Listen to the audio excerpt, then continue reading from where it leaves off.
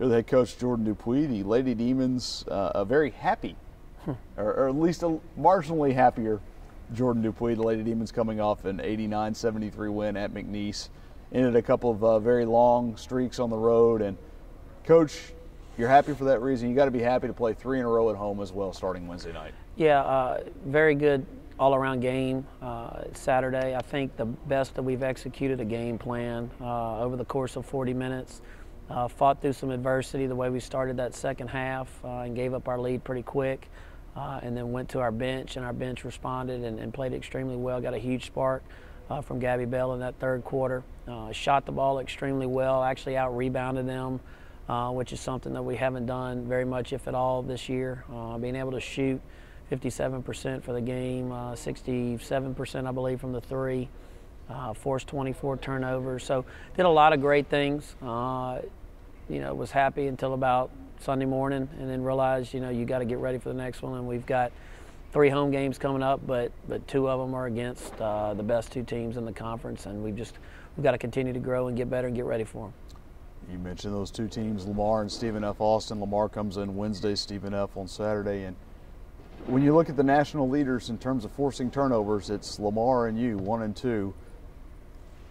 Football coaches often talk about possessions, and, and they're obviously infinitely more in basketball than in a football game. But how important does valuing possessions and holding on to the ball become Wednesday night, maybe as opposed to any other game? It's it's the biggest thing going into this game, to be honest. Uh, you know, both teams want to turn uh, each over other uh, over each other, and and so you know, looked at it this morning, like you said, number one, number two, they have 553 forced turnovers. We have 552 forced turnovers. So we're going to put that in the game plan, let them know that, hey, this is going to be the battle that, you know, who's, who's going to be the one to take over, number one in the country, and, and turning people over. Let's, let's have some pride. This doesn't happen very much.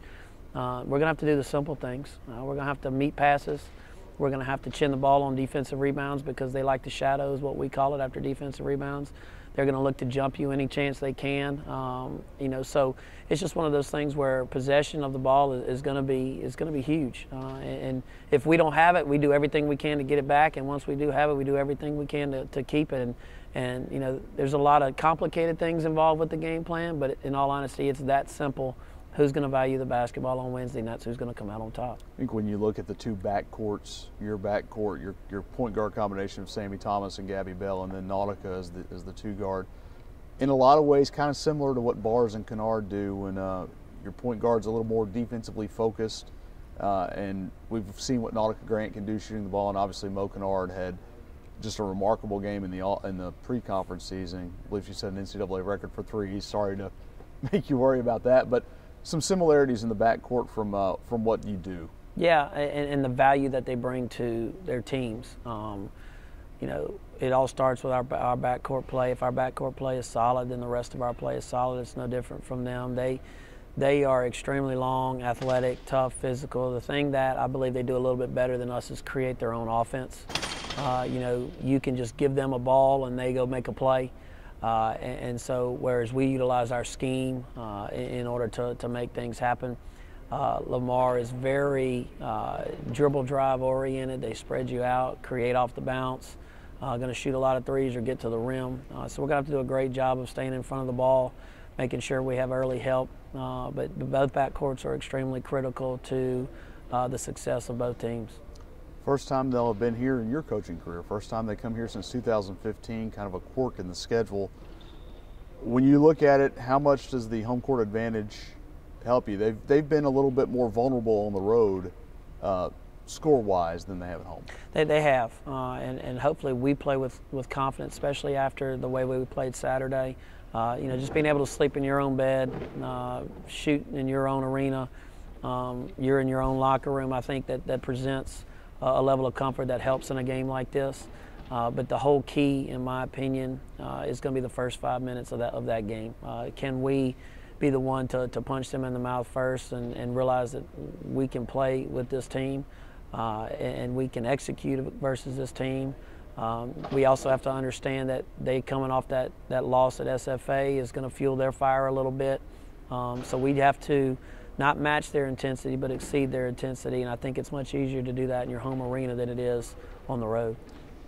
You mentioned Stephen F. Austin. You'll see them on Saturday, and you also mentioned with Lamar, get to the basket or shoot threes. It's kind of become the Houston Rocket kind of mentality, and that was the comparison that Stephen F.'s radio person used for them, and I think we saw that the first matchup in Nacogdoches. They shot the ball really well from outside.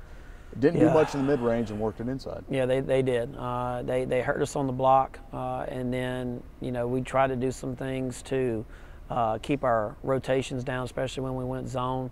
Uh, but they did a great job of spreading us out. They went 16 to 28 from the three, uh, and, and it seemed like once the first three or four went down, everybody felt like, hey, it's it's my turn. They had post players coming off the bench that that shot it. I think the manager got in, shot one, and made it. So. Uh, you know, it's just it's one of those things where we got them rolling. We're going to have to do some different things to keep them off balance, uh, play a much more physical game, uh, be much more of a, on an attack mentality uh, on the offensive end, uh, and, and hopefully, again, if you deliver the first blow, you can realize that hey, we can play with this team, we can beat this team, especially on our home floor. It's Pac Prather as well. So again, you've talked about it many times. You kind of touched on it with Lamar. Bring some energy, get a good crowd here, and if on top of that you hit them in the mouth, you've got all the momentum, you've got the the atmosphere you want, and that can play a large role as well. No doubt, it's extremely important to have uh, a a great crowd in here. We feed off of our crowd. We feed off of our band. Our band does an unbelievable job of helping create atmosphere uh, and, and getting on the opposing team and, and getting behind our, our ladies. Uh, and so we need that atmosphere. Uh, there, there's no doubt it adds an extra 10, 15, 20 points to, to that game. Uh, there's times in the game where we get down or maybe we get in a little bit of an offensive drought and that crowd comes in. We make one or two plays in a row. We, we feed off that crowd and, and again, it's just it's a huge difference. So we got to make sure that we're in here on Wednesday uh, and definitely on Saturday for the doubleheader.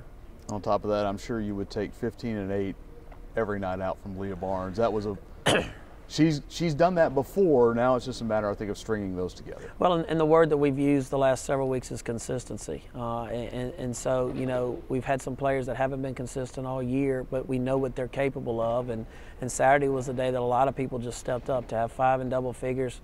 Uh, I think of Kira Bonner and what she did uh, off, off the bench.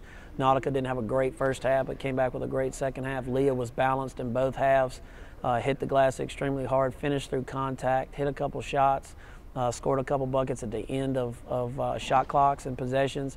So her minutes were absolutely huge. Um, Libba kind of got in some foul trouble, but then was able to come back hit a couple huge threes in the second half and a baseline jumper and what we call our open offense when they started pressuring us. Uh, so, you know, again, a lot of people stepped up, and that's what it takes. It had nothing to do with coaching. I said that the, on the radio after. It's just players stepping up and doing what they're, they're capable of doing and executing a game plan, and, and that's what we're capable of every game out, and hopefully we'll continue that on Wednesday. All right, thanks, coach. Thank you.